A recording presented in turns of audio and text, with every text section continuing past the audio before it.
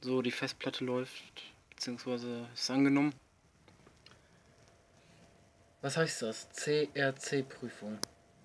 Datenfehler. Auf E kann nicht zugegriffen werden. Was bedeutet das?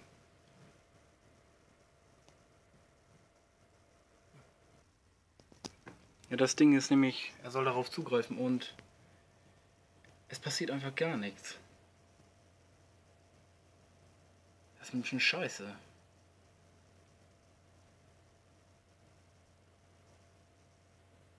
Wenn einer da irgendwas weiß, soll er mir das mal in die Kommentare hauen. Das wäre mal sehr vom Vorteil.